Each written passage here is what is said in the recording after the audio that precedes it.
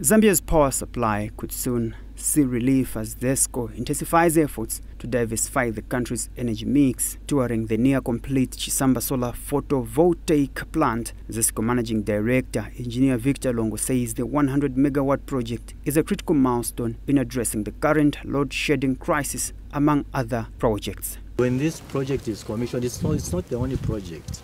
We need a number of initiatives once all these initiatives are in place, you will definitely start seeing load shedding uh, uh, being mitigated or coming down.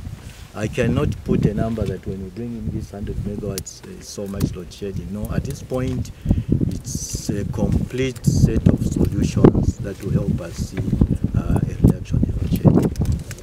The plant, now 98% complete, spans 106 hectares in Chisamba and is scheduled for commissioning by President Hakainde Hichilema later this month. These modules are not the conventional solar modules that we see on rooftop installations.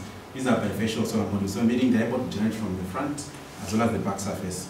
So we have our 1,000 uh, string Huawei inverters, which are also installed inside in terms of numbers. We also have 20 by 5 MVA transformers, that box uh, transformer with the integrated control and protection metering inclusive as well.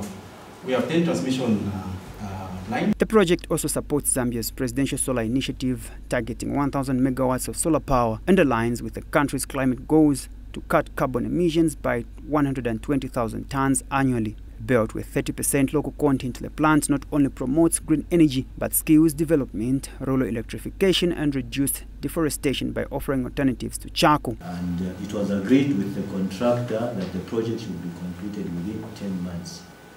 And I think for us, this is a flagship project. We want to show that and demonstrate that you can actually execute 100 megawatts of a solar plant within 10 months.